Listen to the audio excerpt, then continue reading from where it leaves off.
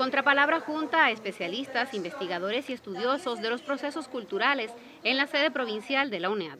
Ellos reflexionan allí sobre temas diversos relacionados con gestión política y consumo cultural en la Cuba de estos complejos tiempos. Nosotros quisimos ver esto, la gestión cultural, verlo como un enlace para el desarrollo social, ir a los modos en que se ve el concepto de consumo cultural y las modas que esto puede implicar. En esta ocasión, los participantes en la cita asistieron a presentaciones de libros, lecturas de textos e intercambios de experiencias en el trabajo conformador de programaciones, promoción y gestión de propuestas artísticas. Creo que eh, los escritores, los artistas, los intelectuales que nos hemos acercado a Contrapalabra, lo hemos, los hemos hecho con la voluntad de transformar y de enriquecer el acervo de pensamiento. En los tiempos que corremos a veces no nos detenemos a pensar que los procesos globales de la cultura, los procesos de internacionalización de patrones culturales nos están cegando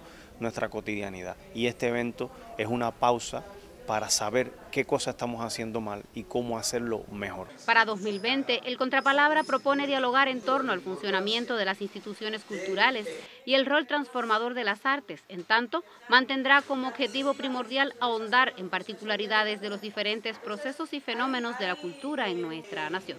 En Gran Maya, Kelin Pérez, Sistema Informativo de la Televisión Cubana.